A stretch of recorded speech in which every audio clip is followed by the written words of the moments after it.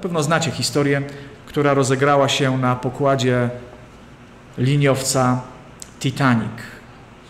Na pokładzie tego tonącego już wówczas, wówczas okrętu znajdował się John Harper ze swoją ukochaną sześcioletnią córeczką. Miał na imię Nana. Gdy było już wiadome, że statek utonie, John Harper umieścił swoją córkę w łodzi ratunkowej.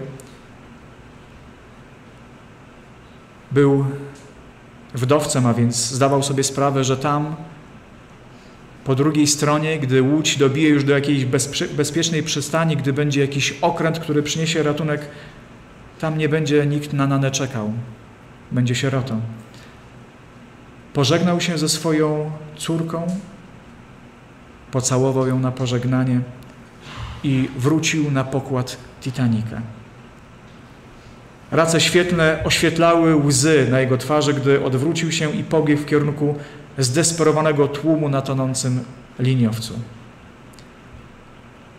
Kiedy tył ogromnego statku zaczął się podnosić, Harper udał się na pokład, krzycząc: Kobiety, dzieci, niezbawieni, do łodzi ratunkowych. Kilka minut później Titanic rozdarł się na dwie części. Wielu myślało, że to eksplozja złamała statek na pół. Wtedy ludzie zaczęli skakać z pokładu do lodowato-zimnej wody. Harper był między nimi.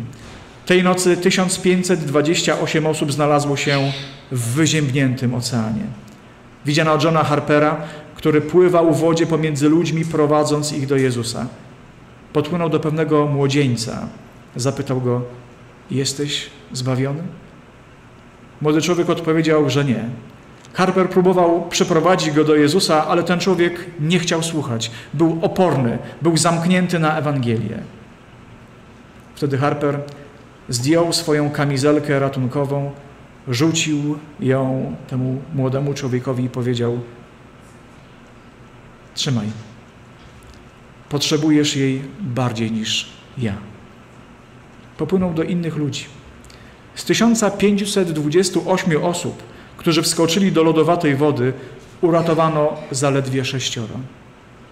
Jednym z nich był ten młody człowiek trzymający się jakiegoś fragmentu ekwipunku okrętowego. Cztery lata później, na spotkaniu ocalonych z katastrofy, ten sam młody człowiek wstał i we łzach wspomniał, jak John Harper pomagał mu znaleźć receptę na zbawienie jak prowadził go do Chrystusa.